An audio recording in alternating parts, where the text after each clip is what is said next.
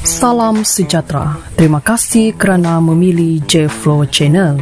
Channel ini akan menyampaikan berita terkini, gosip panas mengenai artis dalam dan luar negara.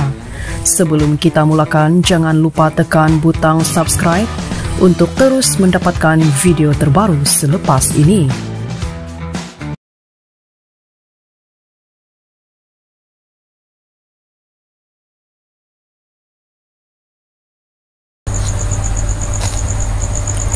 Semenjak mendirikan rumah tangga bersama Datu Mokhtar Ahmad pada tahun 2006, pelakon dan penyanyi jelita Datin Juliana Banos tidak lagi aktif di dalam dunia seni.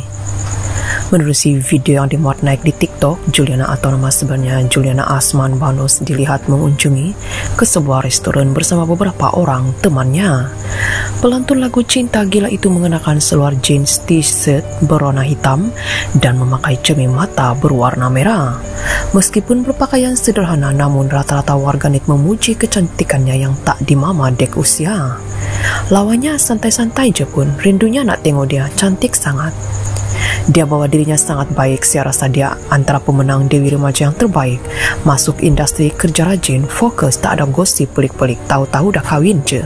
Sekadar info Juliana terkenal merusi beberapa filem Antaranya Gerak Khas The Movie 2 Gila-gila pengantin dan filem terakhirnya adalah Pontianak Menjerit.